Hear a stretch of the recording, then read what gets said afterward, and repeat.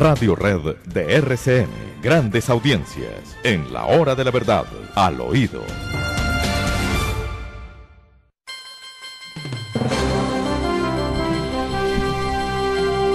Bueno, debemos empezar por decirles al oído a nuestra inmensa cantidad de audiencia. Estamos realmente estremecidos con la audiencia que tenemos inclusive por caminos digitales.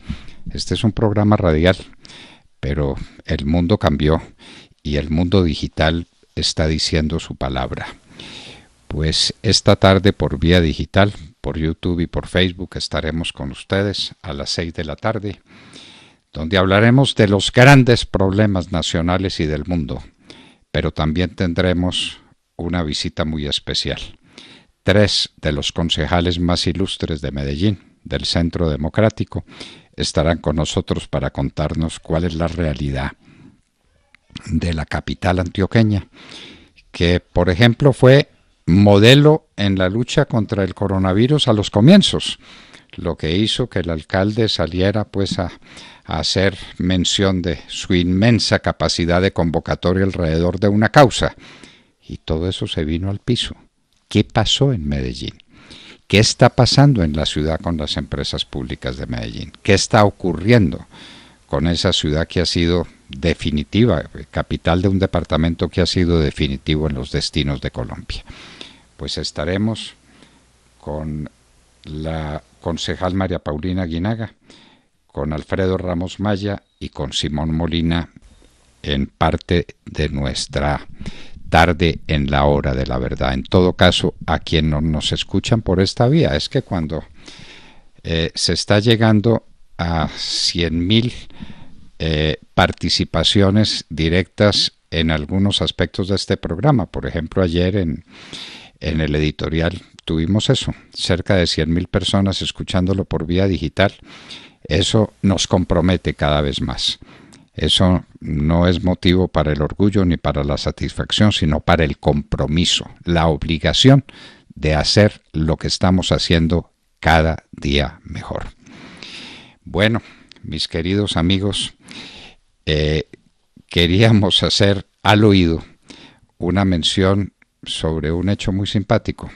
Se ha hablado de la maravilla que fue la Minga y del respeto que la Minga tuvo por los derechos de los demás y, y nosotros queremos decir que eso no fue así, que eso no fue verdad. Entre otras razones, por las cosas más elementales. ¿Qué tal el mal ejemplo que dio la Minga en materia de respeto a las leyes de circulación y tránsito? ¿Qué tal? No, no, no, no.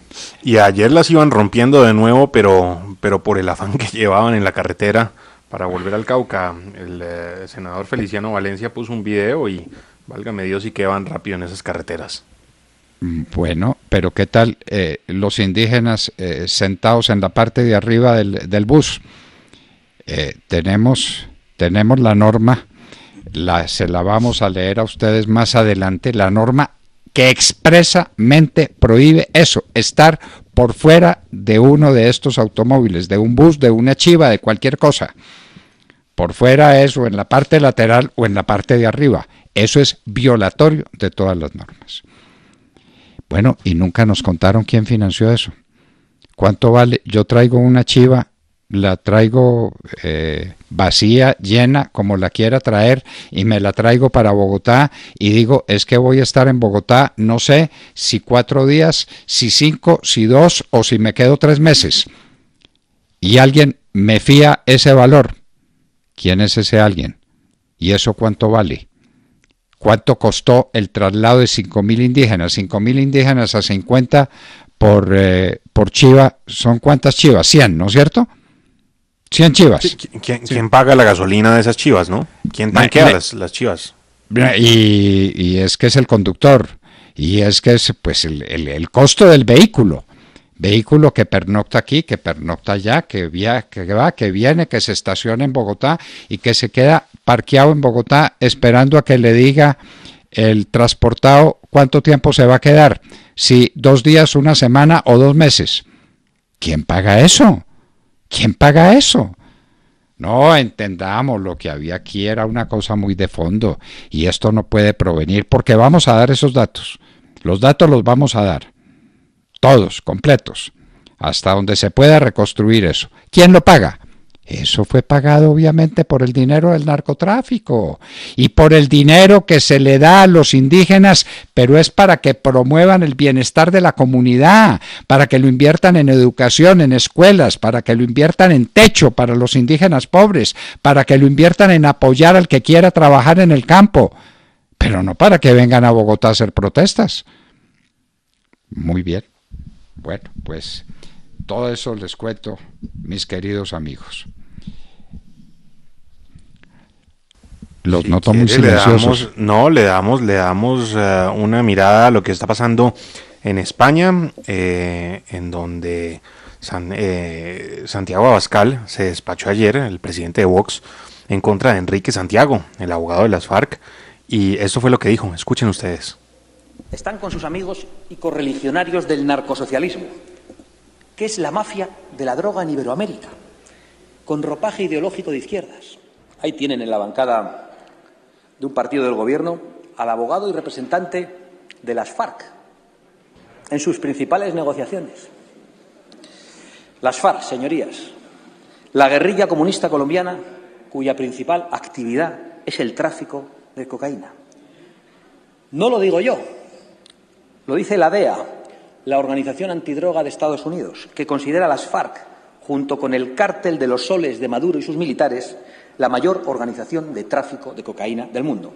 Pues ahí tienen sentado a don Enrique de Santiago Romero, natural de Madrid, de profesión, la defensa de los intereses de las FARC, es decir, de los narcotraficantes, de los secuestradores y de los violadores de menores en Colombia.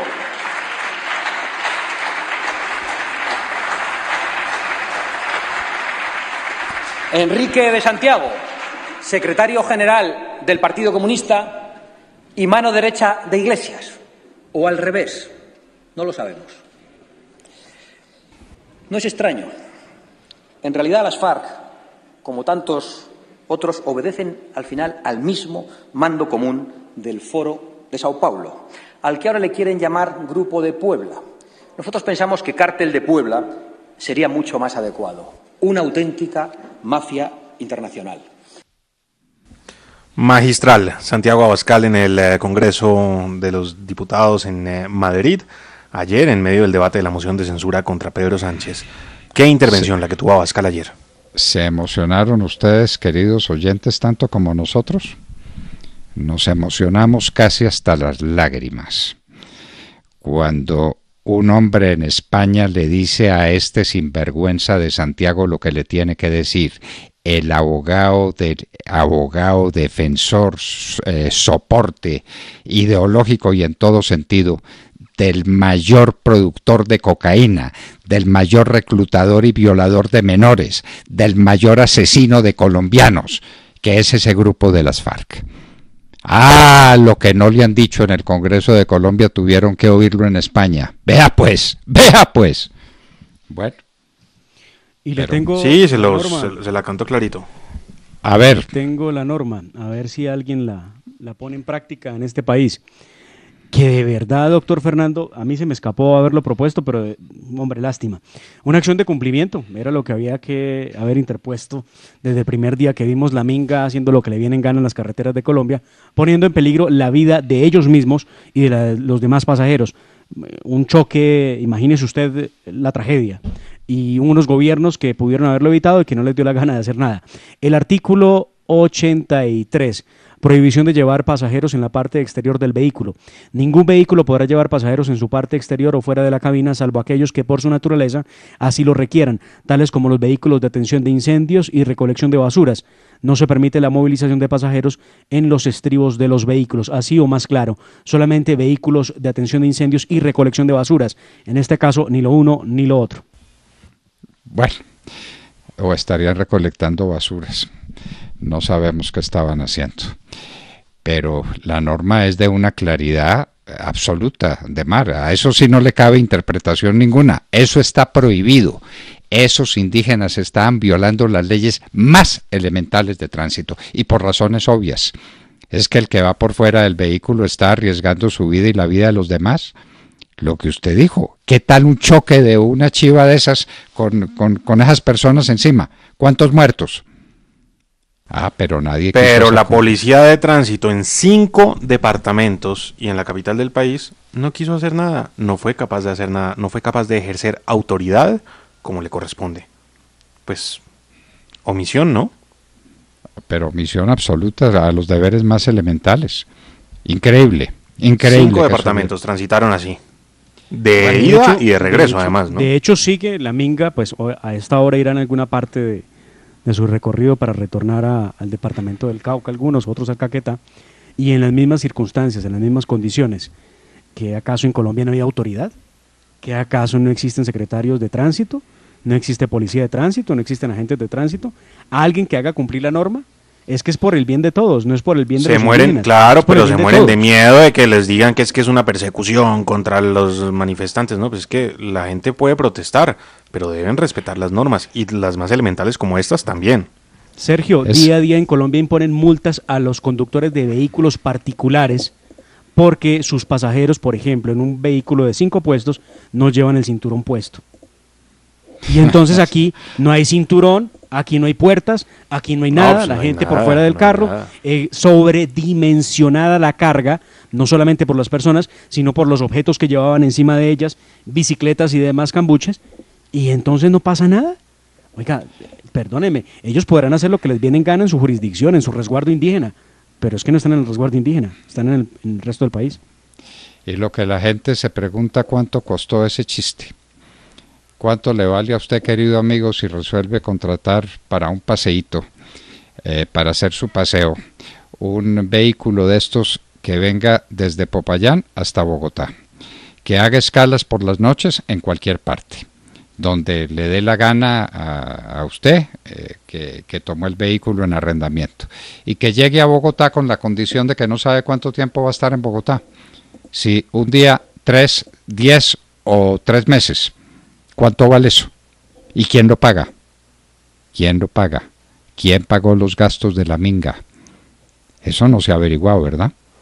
¿O será que han ahorrado los miles de millones de pesos que pagamos los colombianos para que ellos vivan eh, felices en sus territorios y los ahorraron y, entonces están pagando con esa plata. Los ahorraron. y, platica de, Soros, ¿no? Y platica de Soros que hay, por ahí también. Eso sí, no, ah, lo, pierdan de ah, vista. Bueno, y eso está comprobado. Eh, pero entonces si lo paga Soros, que se sepa que lo pagó Soros. Pues a través de la UNIC, es que Soros le ha dado mucho dinero a la UNIC. Bueno, a través de Open Society Foundations. ¿Y cuánto vale, cuánto vale ese chiste?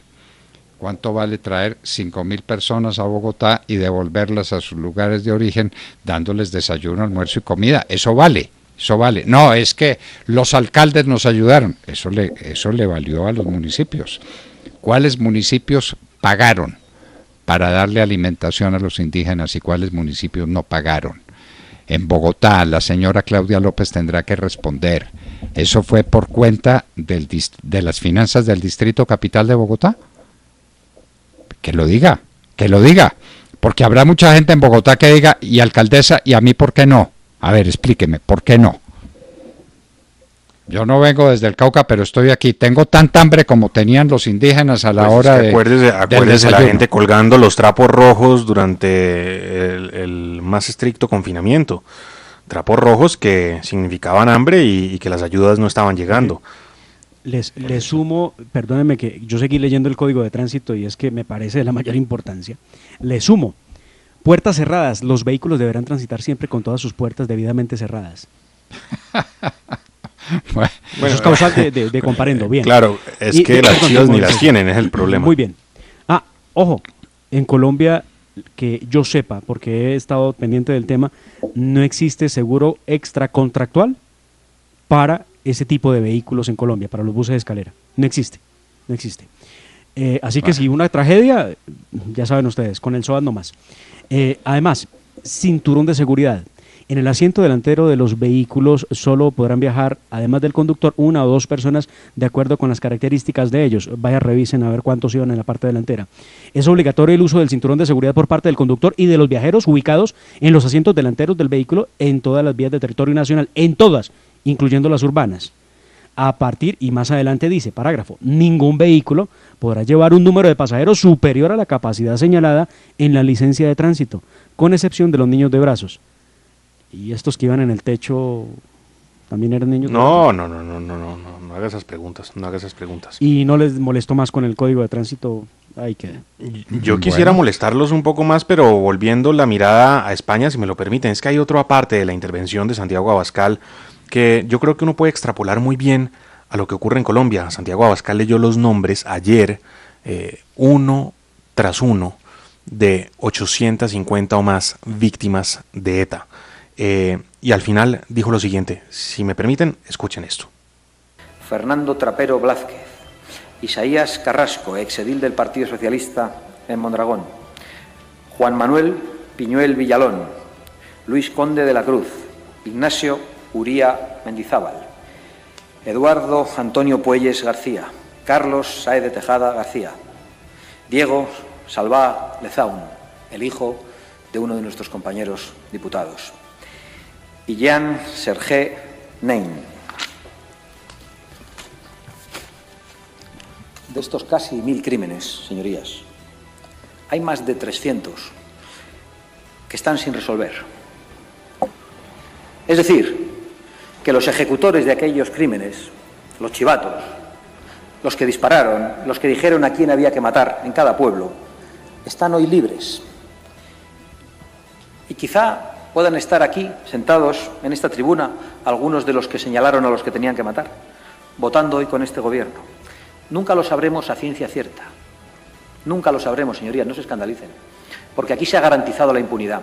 Aquí nos vienen a hablar de la memoria histórica de hace un siglo, pero no quieren hablar de la memoria histórica reciente, ni quieren hablar de aquellos con los que no se ha hecho justicia. Así que anoten estas mil razones más para la moción de censura que nosotros presentamos, porque no podemos aceptar de ninguna manera y dejar de denunciar que hoy el Gobierno de España se esté sosteniendo en sus votos y que ustedes se pavoneen de ello cuando hacen declaraciones a la prensa saliendo de aquí diciendo que ustedes quitan y ponen gobiernos es mejor que quitar vidas.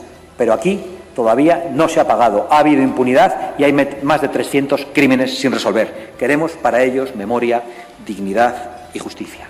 Disfruten de la impunidad porque pueden estar seguros de que esa impunidad se acabará.